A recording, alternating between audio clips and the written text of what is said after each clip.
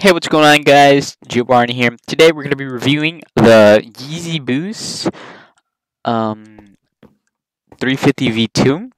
Um, I heard these go around for, uh, I don't know, like $2. Uh, 220 116 uh, 220 tops for adults, 160 for teens, I guess. And we're going to be trying them out. I just got them yesterday, and I heard they're really good but we'll have to test that for ourselves.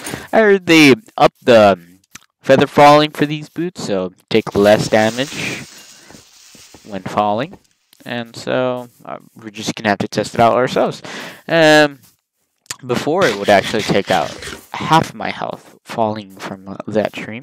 So we're gonna, gonna see how much it takes out now. Um, these were actually recommended to me by my brother he's somewhat of a pro at these type of things. I don't know about anything about him, but let's just see. I only use him because you know it's beneficial to me. Um, okay, so here we have them on the Yeezy Boost 350 V2 Feather Falling 4.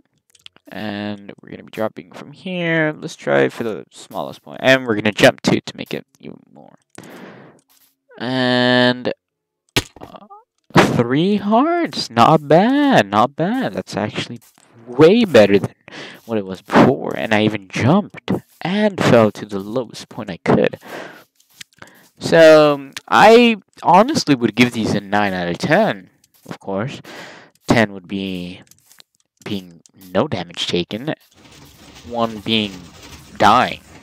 So, these are honestly pretty good. Um, I would recommend them to people who fall a lot. And um, yeah, it's worth the price, to be honest. And I'll leave it up to you guys to decide whether it's worth it or not. Peace.